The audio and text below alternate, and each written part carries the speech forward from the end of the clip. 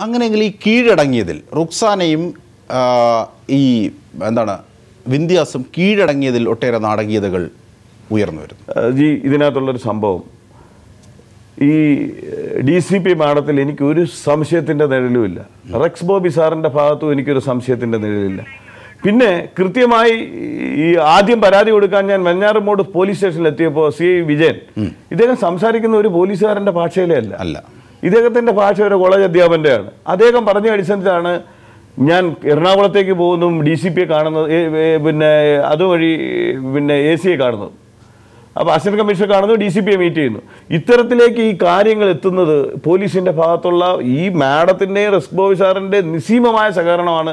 ഈ നാല് പ്രതികളെ പിടിക്കുന്നത് വളരെ നിഷ്പ്രയമായി. പിന്നെ ജയചന്ദ്രൻ എത്തിക്കഴിഞ്ഞപ്പോൾ ഇതൊന്ന് ആടി വലഞ്ഞോ എന്നുള്ള കാര്യം ചാനലിലൂടെ നോക്കുമ്പോൾ എനിക്ക് തോന്നിയിട്ടുണ്ട്. പക്ഷേ അവരെ എനിക്ക് സംശയമില്ല.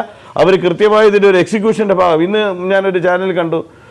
അവരുടെ ഭാഷ കൃത്യമാണ്. അവരുടെ ബോഡി ലാംഗ്വേജ്. അവർ നമ്മളെ നാട്ടിന് അസറ്റാണ് എറണാകുളം ജില്ലയിൽ ഞാൻ നിൽക്കുമ്പോൾ ഒരു സ്റ്റാർ ഓപ്പറേഷൻ. രണ്ടാമത് ഒരു സ്ത്രീയാണ് ഇത് ചെയ്യുന്നത് ഇതിനു മുമ്പ് വലിയ വലിയ ആളുകൾ നിപ്പുണ്ട്. മൂന്നാമത് ഈ പറയുന്ന ബ്ലൂ ബ്ലാക്ക് മെയിൽസ് നാലാമത് അവിടെ ഒരു നൗകയുടെ പ്രശ്നം. അരുന്ധതി എറണാകുളത്തിന്റെ ദൈവമോ ഉച്ചയ്ക്കുള്ള പത്രം വിൽക്കുന്ന ആളിന്റെ ജനങ്ങളെ വിൽക്കുന്നതിന് വേണ്ടി ഉപയോഗിക്കുന്ന പദപ്രയോഗങ്ങളാണ്.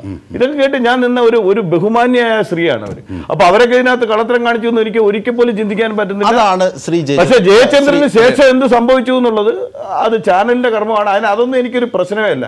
എന്റെ സുഹൃത്തിന്റെ മരണ കാരണം അതിന് ഇവർ തന്നെയാണ് കാരണം തീർച്ചയായും താങ്കൾ ആ ഫൈറ്റ് ആണ് മുമ്പോട്ട് വെക്കുന്നത്. പക്ഷേ ഇനിയും പലരുടെയും സുഹൃത്തുക്കൾ ഇതിൽ വരാതിരിക്കണം. ഇതിന്റെ രാഷ്ട്രീയ സ്വാധീനങ്ങൾ തീർച്ചയായും രംഗത്ത്. അതാണ് ഞാൻ പറഞ്ഞത്. ശ്രീ ശ്രീ പെരേര താങ്കൾ പറഞ്ഞു പോലീസ് വിജയൻ വളരെ നല്ല വ്യക്തിയാണ്. ഇത്തരത്തിൽ നല്ല വ്യക്തികളെ എടുത്തു പറയുമ്പോൾ എന്തുകൊണ്ട് കൂട്ടായി പോലീസിന് താങ്കൾ പറഞ്ഞ ഈ നല്ല ദിശയിലേക്ക് കാര്യങ്ങൾ എത്തിക്കാനായില്ല? അവിടെയാണ് രാഷ്ട്രീയ സമ്മർദ്ദം. അവിടെയാണ് ജി ഞാൻ പറയുന്നത്. ഈ കേസിന്റെ ലിസ്റ്റിൽ നമ്മൾ അറിയവേ ഒരു പതിനഞ്ചോ പതിനാറോ പേരോ കുടുങ്ങിയിട്ടുണ്ട്. ഇതിൽ നല്ലൊരു ശതമാനം ആളുകളുടെ കയ്യിൽ നിന്ന് പൈസ മേടിച്ചു. ഞാൻ ചാനലിൽ എത്തുന്നു എന്ന് പറയുമ്പോൾ കൊല്ലത്തുള്ള പല ആളുകളും എന്റെ പേര് വിളിച്ചു പറയല്ലേ എന്റെ കുടുംബം നഗരും പറഞ്ഞു മനസ്സിലായി? ഈ ഇതിനകത്ത് പറ്റുന്നത് പോലീസ് ഈ കേസ് അന്വേഷിക്കാൻ തയ്യാറാണ്. പരാതിപ്പെടാൻ ആളില്ല. അതുകൊണ്ടാണ് ഇന്ന് വിന്ധ്യ തോമസ് എറണാകുളം നോർത്ത് സ്റ്റേഷനിൽ നിന്നുകൊണ്ട് പറഞ്ഞത് എന്റെ പേരിൽ ഒരു പരാതിയുള്ളൂ മൂക്കിന് താഴെ മീശ വെച്ചുകൊണ്ടിരിക്കുന്ന ഈ സുഹൃത്തുക്കളോ സഹോദരന്മാരോടും ഞാൻ പറയുകയാണ്. ഇവർ പരാതിപ്പെടുക. ഇടിവെട്ടി പോകുന്ന സാമ്രാജ്യമാണ് പോട്ടെ എന്ന് വിചാരിക്കുക. ഈ ഇത്തരത്തിലുള്ള രക്തരക്ഷസുകളെ ജയിലിൽ പതിനഞ്ച് കേസ് വന്നാൽ ഇവരുടെ അവസ്ഥ എന്താണ്? ഈ കേസിൽ ആരും പരാതിപ്പെടാൻ തയ്യാറല്ല. പൈസ കൊടുത്തവർ ആരും മുന്നോട്ട് വരാൻ തയ്യാറല്ല. പോലീസ് നിസ്സഹായരാണ്. അവിടെയാണ് സജി എന്ന് പറയുന്ന ക്യാരക്ടർ ഞാൻ മുഖേന ആ പ്രദേശത്തേക്ക് കേസുമായി മുന്നോട്ട് ചെല്ലുന്നത് പക്ഷെ അതുകൊണ്ട് ഒരു ജീവൻ പോവുകയും ചെയ്തു. ഒരു ജീവൻ പോയി പക്ഷെ എനിക്ക് ഒരു ജീവനെ രക്ഷിക്കാൻ രക്ഷിക്കാനായി. ഈ മുൻ മുൻ മുൻ കേന്ദ്രമന്ത്രി അടക്കമുള്ളവരുടെ പ്രമുഖരുടെ എം എൽ എമാരുടെ ഒക്കെ അശ്ലീല ചിത്രങ്ങൾ പോലീസിന്റെ ലാപ്ടോപ്പിലുണ്ട്. ആ ലാപ്ടോപ്പ് എവിടെ? താങ്കളുടെ നിരീക്ഷണത്തിൽ. ജി ഞാനൊരു കാര്യം പറയുന്നില്ല. ഇതിനകത്ത് പൊളിറ്റിക്സ് ഇതിന്റെ ഒരു വിഷയമേ അല്ല അല്ല. താങ്കൾക്ക് അറിയാവുന്ന അറിയാവുന്ന കാര്യങ്ങൾ ഞാൻ വെട്ടി തുറന്ന് പറഞ്ഞു. ദൃക്സാക്ഷിയാണ് എന്റെ ഭാഗം വളരെ ക്ലിയർ ആണ്. ഇതിനകത്ത് ചിദംബരം ഉണ്ടോ ഈ തമിഴ്നാട്ടിൽ നിന്നൊക്കെ വണ്ടി വരുന്നു. ഇതൊക്കെ നമ്മൾ കേട്ടറിഞ്ഞ കാര്യങ്ങൾ സത്യമാണോ എന്ന് ചിലപ്പോൾ തോന്നിപ്പോകുന്നുണ്ട്. അതൊക്കെ അവിടെ നിൽക്കട്ടെ. ഈ എന്റെ സുഹൃത്തിന്റെ മരണം ഈ അമ്മയുടെ മുമ്പിൽ നഷ്ടപ്പെട്ടു പോയ ഈ ഈ ഈ നാല് കുടുംബങ്ങൾക്ക് പകരം വയ്ക്കാൻ ഈ റുസാനയ്ക്കും ഈ ഇവർക്ക് എന്ത് എന്ത് ഏത് തരത്തിൽ അവരെ കൊണ്ട് പറ്റും? അപ്പോൾ അവരുടെ വക്കീൽ മറ്റൊരു ചാനലിൽ ഞാൻ ഇരുന്നോ പറഞ്ഞു ഇതൊന്നും ഒരു കാര്യമുള്ള കാര്യമല്ല. ഇതൊക്കെ പോയി പോയി എഫ് ഐ ആർ എഴുതുന്നതെന്ന് പറഞ്ഞാൽ കോടതിയുടെ റെഫറൻസിന് മാത്രം ഉപയോഗിക്കുന്ന വസ്തുതയാണ്. ശരിയാണ്.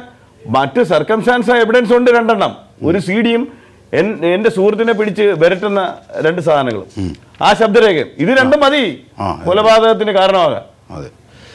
തീർച്ചയായും പെരേര ശ്രീമതി ശ്രീമതി ബിന്ദുകൃഷ്ണ ഉയരുന്നു ചോദ്യങ്ങൾ. അതായത് ഇതിനകത്തെ രാഷ്ട്രീയ സമ്മർദ്ദം എന്ന വിമർശനം ഒഴിവാക്കാനാകുന്നില്ല. ഇപ്പോൾ പെരേര ഒട്ടും രാഷ്ട്രീയമില്ല. എനിക്കെന്റെ സുഹൃത്തിന്റെ പ്രശ്നം മാത്രമാണ്. ആ സുഹൃത്തിന്റെ അമ്മ മരിച്ച അമ്മയുടെ മരിച്ച സുഹൃത്തിന്റെ അമ്മയുടെ വിലാപങ്ങൾ ഉയർത്തി അദ്ദേഹം വൈകാരികമായി കാര്യങ്ങൾ പങ്കുവെക്കുമ്പോൾ അതിന്റെ ഉള്ളിൽ പോലും ഉയരുന്നു ഈ രാഷ്ട്രീയമായ സമ്മർദ്ദം സംബന്ധിച്ച്.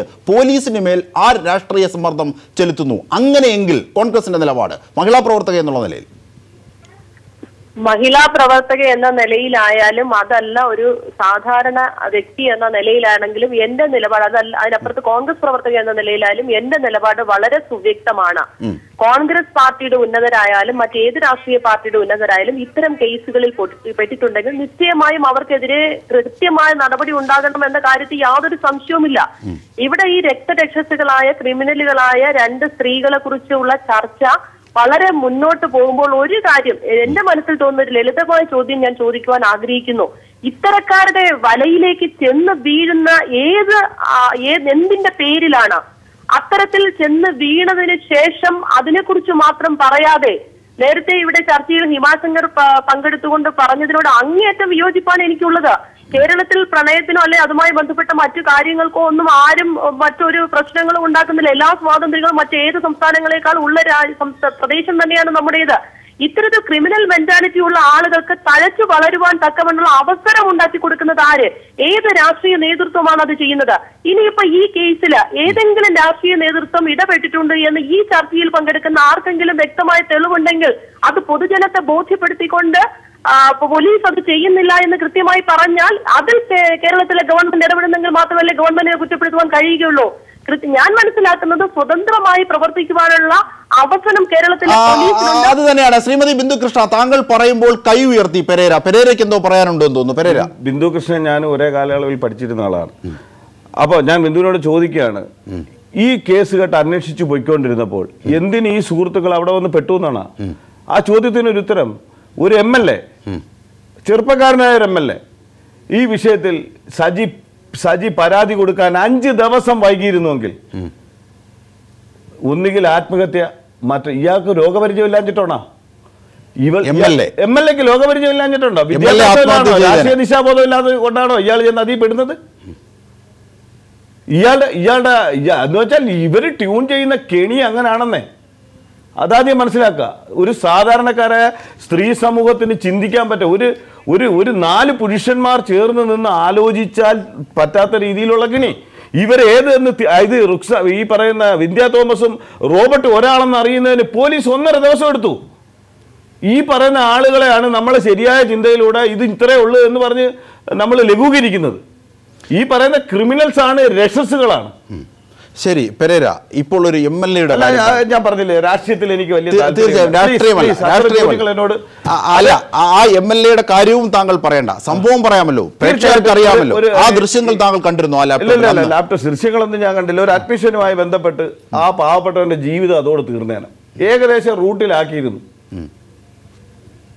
ഇതൊന്നും ഞാൻ ഞാൻ എനിക്ക് രാഷ്ട്രീയം താല്പര്യമില്ല. എന്റെ സുഹൃത്ത് മരണകാരണമാണ്. ഈ മരണകാരണത്തിൽ തീർച്ചയായും, തീർച്ചയായും. തീർച്ചയായിട്ടും അത് പിന്നെ ഞാൻ അതായത്- ബിന്ദു കൃഷ്ണ- ഈ വിഷയത്തെ നോക്കി കണ്ടത് ചെറിയ തോതിലായിപ്പോയി എന്ന് എനിക്ക് തോന്നിയത് കൊണ്ട് ആ. ഞാനൊന്ന് അത് മറ്റൊരു അർത്ഥത്തിൽ ഞാൻ ബിന്ദുവിനോട് പറഞ്ഞു പറഞ്ഞല്ല. ബിന്ദു കാര്യഗൗരവമുള്ള സ്ത്രീയാണ്. സ്കൂളിൽ പഠിക്കുമ്പോഴും അത്തരം ഞങ്ങൾ രണ്ട് ദിശയിലുള്ള തീർച്ചയായും, അപ്പോൾ വളരെ വൈബ്രന്റ് ആയിട്ടുള്ള കുട്ടിയാണ്. ഈ വിന്ധ്യാസ് കള്ളപ്പണ ബന്ധം എന്ന് പറഞ്ഞുകൊണ്ട് ശരത് ചന്ദ്രപ്രസാദിന്റെയും അബ്ദുള്ള കുട്ടിയുടെയും ഒക്കെ പേര് പറഞ്ഞു. അങ്ങനെയെങ്കിൽ ഈ കള്ളപ്പണവും അതുമായി ബന്ധപ്പെട്ട് അവർ ഉയർത്തിയ ആരോപണങ്ങളും താങ്കൾ ഇപ്പോൾ പറഞ്ഞ എം എൽ എയും ഒക്കെയായി ബന്ധം ഏകദേശം പറയാമോ താങ്കൾക്ക്? ഇല്ല ഇല്ല ഇതിനകത്ത് ഈ ഇവരുടെ അതല്ല ഈ സജിക്ക് മന്ത്രിമാരുമായി ബന്ധമുണ്ടെന്ന് പറയുന്നു. മന്ത്രിമാരെന്ന് പറയുമ്പോൾ യു ഡി എഫുകാരാണ്. അപ്പൊ ഏത് യു ഡി എഫിലെ മന്ത്രി? അതുകൂടെ അവൾ വെളിപ്പെടുത്തണം. എവിടാണ് ഇൻവെസ്റ്റ് ചെയ്തത്? അത് അറിയാന്ന് പറയുന്നു. ഇതൊക്കെ പോലീസ് ചോദിച്ചെടുക്കണ്ടേ? അതെ. വെറുതെ അന്തരീക്ഷത്തിൽ വന്നു നിന്നുകൊണ്ട് ഈ പാ ഈ സാധാരണക്കാരനെ ഈ എം എൽ എ മന്ത്രിമാരെയൊക്കെ അന്തരീക്ഷത്തിൽ കൊണ്ടുവന്ന ഒരു കറക്ക് കറക്കുക എന്നിട്ട് ഈ കേസിലൂടെ ഊരിപ്പോകുക ഊരി പോകുക എന്നുള്ള ഒരു ലെവലിലേക്കുള്ള ഏതോ ഒരു ഒരു ക്രിമിനൽ വക്കീലിന്റെ ആ ഉപദേശം സ്വീകരിച്ചുകൊണ്ട് ഉത്തരങ്ങൾ പറയുകയാണ്. അതാണ് ശ്രീമതി ബിന്ദുകൃഷ്ണ പെരേരയ്ക്ക് അറിയാവുന്നതിന്റെ ഒരു ഐസ്ബർഗ് മാത്രമേ പുറത്തു വന്നിട്ടുള്ളൂ.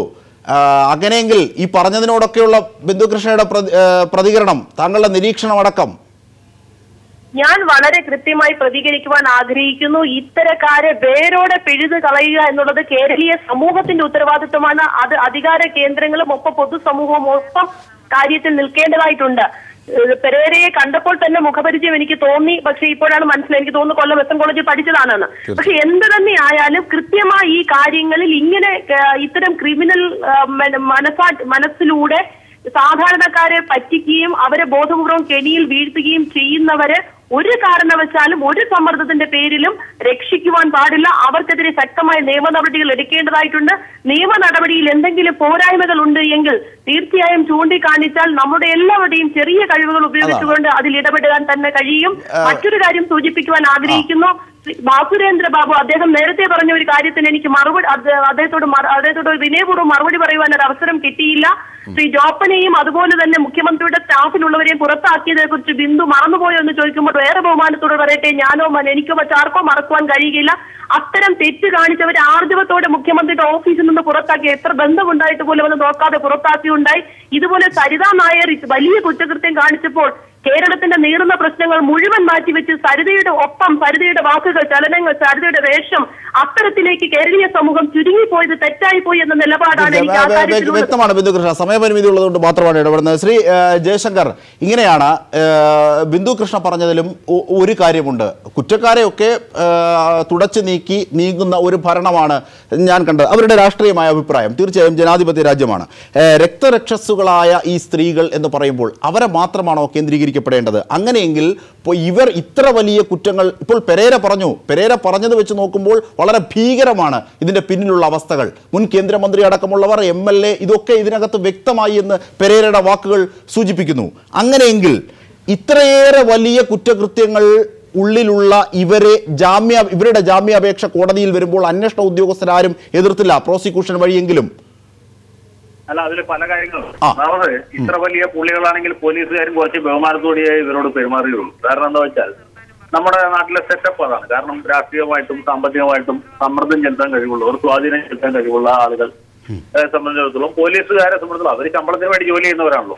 ഒരു തലയിൽ തൊപ്പി ഉണ്ടാവണം എന്ന കാര്യത്തിൽ നിർബന്ധമുണ്ട്. പിന്നെ വലിയ പ്രമാദമായ കേസുകളൊക്കെ അന്വേഷിക്കുന്ന ചില പോലീസ് ഉദ്യോഗസ്ഥരെങ്കിലും പിന്നീട് റെയിൽവേ ട്രാക്കിൽ മരിച്ച നിലയിൽ കാണപ്പെടുന്നുണ്ട്. ചിലരൊക്കെ കാർ ആക്സിഡന്റിൽ മരിച്ചിട്ടുണ്ട്. ഞാനിപ്പോ ഉദാഹരണങ്ങളിലേക്ക് പോകുന്നില്ല. ഒരുപാടുണ്ട്. പറയാൻ തുടങ്ങിയ തീരില്ല അങ്ങനെയൊക്കെ ഉണ്ട്? ഇവർ കുടുംബം പുലർത്താൻ വേണ്ടി റേഷൻ മേടിക്കാൻ വേണ്ടി ജോലി ചെയ്യുന്നവരാണ് നമ്മൾ പോലീസുകാർ അവരെത്ര സത്യസന്ധരാണെങ്കിലും അവർക്ക് ചില പരിമിതികൾ. പിന്നെ ഈ മാതിരി കേസ് വലിയ തട്ടിപ്പ് സംഘമാണ് മാത്രം പറഞ്ഞപ്പോഴല്ലോ. കോടതി ബോധ്യപ്പെടുത്തുന്ന രീതിയിലുള്ള കേസുകൾ. പെരേര തന്നെ പറഞ്ഞല്ലോ പരാതി കൊടുക്കാൻ ആളില്ലാത്ത ഒരു സംവിധാനമാണ് നമ്മുടെ.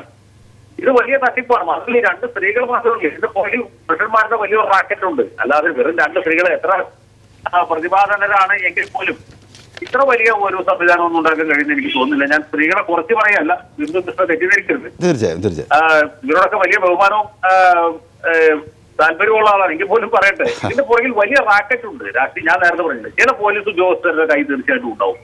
പിന്നെ ചില രാഷ്ട്രീയ നേതാക്കന്മാർ അറിഞ്ഞോ അറിയാതെ ഇതിൽപ്പെട്ടിട്ടുണ്ടാവും അങ്ങനെയൊക്കെ വലിയ സ്വാധീനമുള്ളവർക്ക് മാത്രം ഇത്ര വലിയ തട്ടിപ്പൊക്കെ നടത്താൻ പറ്റുള്ളൂ. അതാണ്, വ്യക്തമാണ്, ഇരുപത്തഞ്ച് വ്യക്തമാണ്. ഇരുപത്തഞ്ച് കൊല്ലമായിട്ട് വക്കീൽ പണി ചെയ്യുന്ന ഒരാളെന്നുള്ള നിലയ്ക്ക് ആ അനുഭവത്തിന്റെ അടിസ്ഥാനത്തിൽ ആ പരിചയത്തിന്റെ അടിസ്ഥാനത്തിൽ പറയുകയാണ്. തീർച്ചയായിട്ടും ഇതിന് പുറകിൽ വലിയ റാക്കറ്റുകൾ മാത്രമല്ല ചില ക്രിമിനൽ അഭിഭാഷകരുടെ കൂടി ഒത്താശ കൊണ്ടാണ് ഇങ്ങനെയുള്ള തട്ടിപ്പുകൾ സാധാരണയായിട്ട് നടക്കുന്നത്. ഞാൻ ആ അനുഭവം വെച്ച് പറയുകയാണ്. ഇങ്ങനെയുള്ള തട്ടിപ്പുകളൊന്നും ചെറിയ ഒന്നോ രണ്ടോ സ്ത്രീകൾക്ക് ചെയ്യാൻ പറ്റിയതല്ല. അതിന്റെ പുറകിൽ വളരെ ശക്തരായ ആളുകളുണ്ട്. വെറും രണ്ട് സ്ത്രീകളെ മാത്രം പിടിച്ച് കേസ് വേണമെങ്കിൽ പോലീസിനെ അവസാനിപ്പിക്കാം. പക്ഷെ അത് ശരിയായ ഒരു രീതിയായിരിക്കും. വള- വളരെ വ്യക്തമാണ്. ഒട്ടനവധി കാര്യങ്ങളാണ് ഇതുമായി ബന്ധപ്പെട്ട ചുരുളുകൾ അഴിയുന്നത്. അഡ്വക്കേറ്റ് ജയശങ്കർ നിരീക്ഷിക്കപ്പെടുന്നു ഭാസുരേന്ദ്ര ബാബു നിരീക്ഷിക്കപ്പെടുന്നു പെരേര ചില കാര്യങ്ങൾ വെളിപ്പെടുത്തുന്നു. എം എൽ എ അടക്കമുള്ളവരുടെ സാന്നിധ്യം ഇതിലേക്ക് എത്തുന്നു. എന്തിനു വേണ്ടി പോലീസ് ഇതൊക്കെ ചെയ്തു എന്ന് വെളിവാകുകയാണ് റിവീലാവുകയാണ്.